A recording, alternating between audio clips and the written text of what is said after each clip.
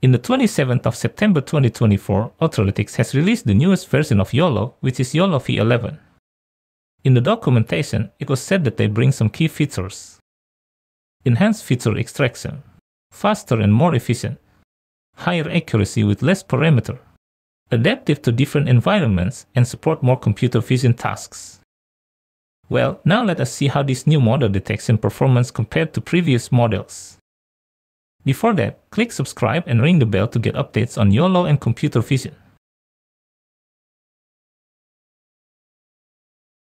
In the daylight video, the detection results of YOLO V11 and V8 are almost the same, whereas the YOLO V10 often fails to detect some objects. YOLO V9 has better results compared to other models because it can detect this person object. Besides that, YOLO V11, V10, and V8 occasionally detect cars as trucks. The most stable is YOLO V9.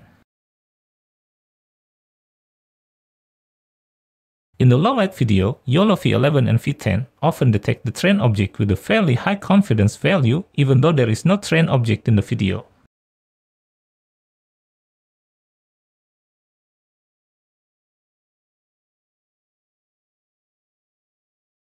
YOLO V11 also often detects road barriers as a person. YOLO V8, V9, and V11 quite often detect boards as trucks. The least frequent is YOLO V10.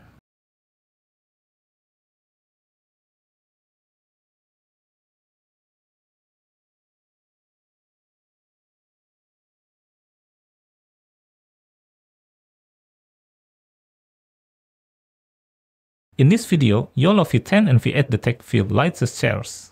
Apart from chairs, YOLO V11 and YOLO V9 can detect benches as well.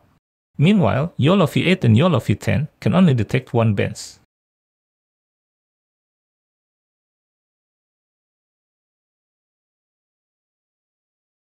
In a blurry video with fast-moving objects, YOLO V11 performs better than the other models because in this frame, YOLO V11 can detect this person object.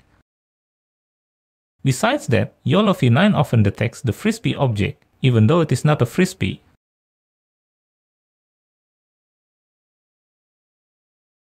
In the videos with many objects, YOLO V10 often fails to detect those objects.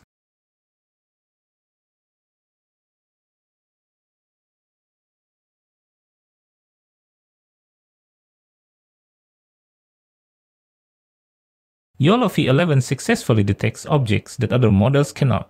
That is the tie object.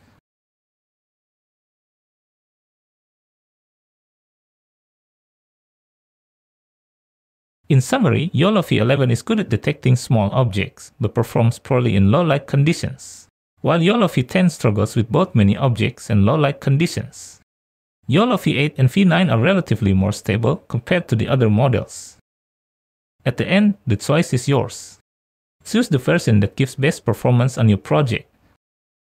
If you like the video, just hit the thumbs up and the share button. If you have any question, please feel free to put it in the comment. Thank you and see you next time.